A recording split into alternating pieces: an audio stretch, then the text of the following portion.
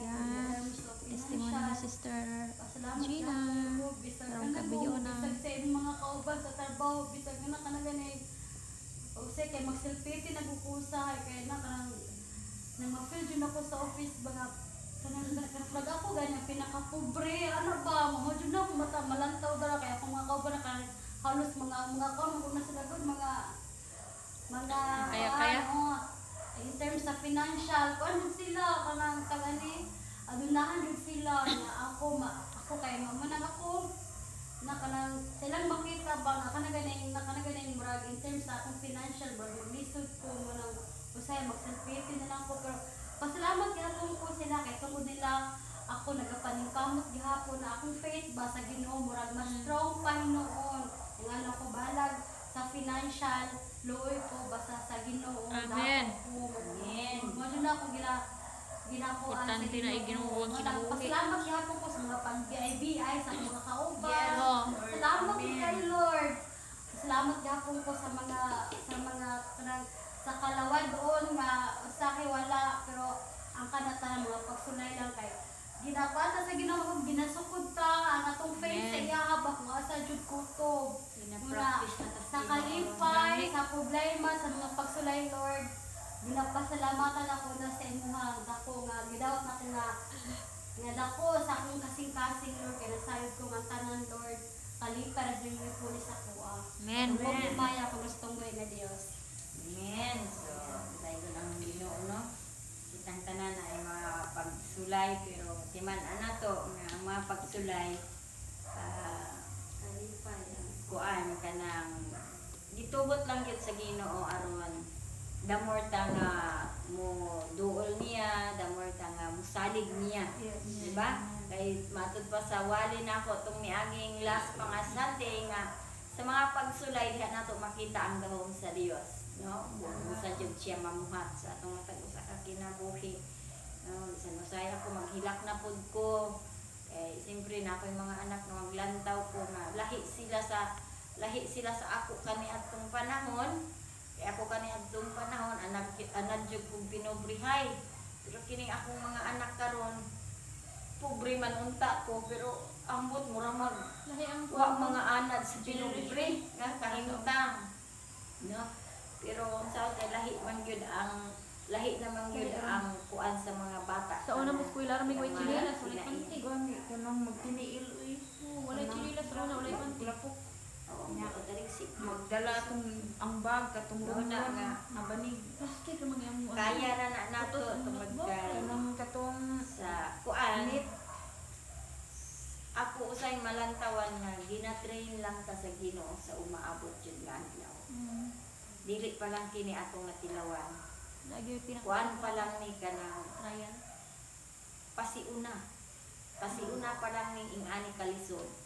Pero maabot jud ang time nga ang taga syudad magpabukid na kay mananong gal- kalaroton. lagot mo nga mga pagkaon. Kita magpasalamat ta kung naapatay pwedeng maagtuan nga mga dapit sa umaabot na dito makapananunta, makakaunta, kay di na gyud ta makakaon. Tungod kay Di naman ta pamalit kung sa mall. Kristohanon ta nga nalig-on jud ta diha sa tiila sa kamot sa Ginoo pag abot anang mga microchip, mga 666 di man jud ka magpatatak. So sa may tuhato nila sa imo apat yon jud ka. Kay gusto man nilang dito jud ka sa ilang Ginoo mga lagad. Nya kay di kung napundar jud ka diha sa pagtuo mamatay tag mamatay.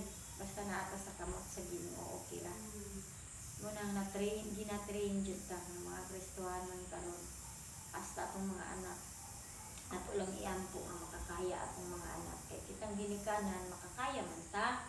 Pero usay atong kasing-kasing ma, ma maguba tungod kay naman tay mga anak nga maglantaw nato sila nga naay dili na to mahatag ang pagpanginganglan niya nagkinahanglan no? Nga nga. Padayon lang ta. Kay matud pa sa pulong sa Ginoo nga atong pagpangalagad dili mahimong kawa ang naatay madawat nga mga blessing dili man na blessing nga daghan nga na tanan jud nga blessing nga naa diri sa atong madawat pero naay mas more pa nga blessing nga nakaandam para sa ato ah.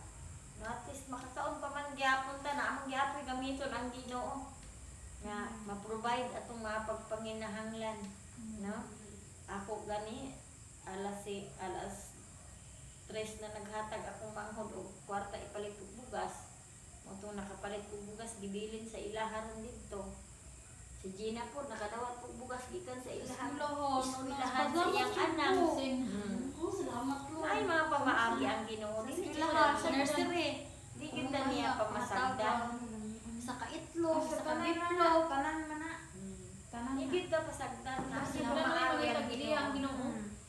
Basta nagsalig Nakakita- gyud ang Ginoo sa ato ang mga pagpanginahanglan. So, sa maglangan, ato na sa ato ang sa pulong sa Ginoo nga atong pamalandungan karon kini pahinumdom pahinumdom na usab sa matag usa ka nato.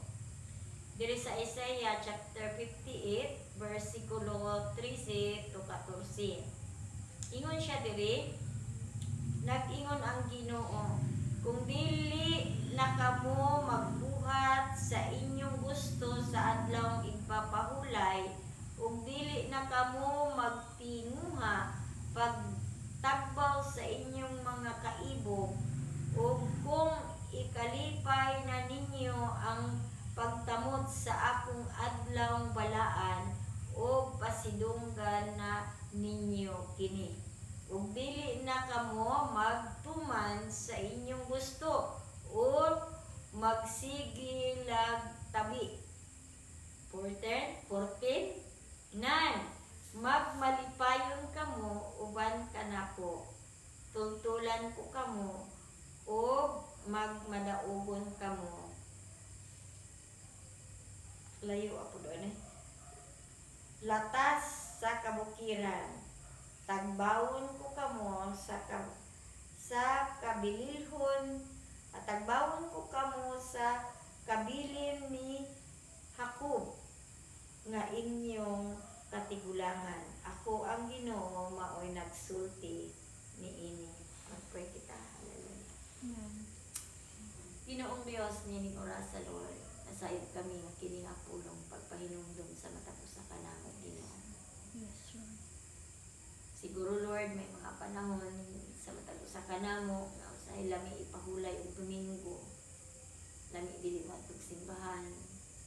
Lami dili mo gawas sa balay, gusto lang maghigda, magpahulay o unsa man mag-outing or unsa man Lord. Pasaylo kami o Dios. Nasayod mi Lord, nasayod di rin dinhing gapitan na kami kakulang mga Lord, din orasa, unsa man ang inyong pagpadayag sa matag sa kanamo, pasaylo kami. Ining tanan o Dios, ang ginaduol kanimo pasalamatan, pinaagi lamang sa pangalan ni Jesus. Amen. Amen. So praise God. Kini nga pulong sa Ginoo naghisgot siya sa ang ganti sa pagtuman sa adlaw igpapahulay. So kung atong lantawon ang adlaw igpapahulay mao kini ang adlaw nga ginapangayo sa Ginoo ngadto sa tanang tawo. No nga hatagan nato siya og panahon, ato siyang simbahon, daygon, pasalamatan, ibayaw, no? Dito sa dapit nga diin dito nato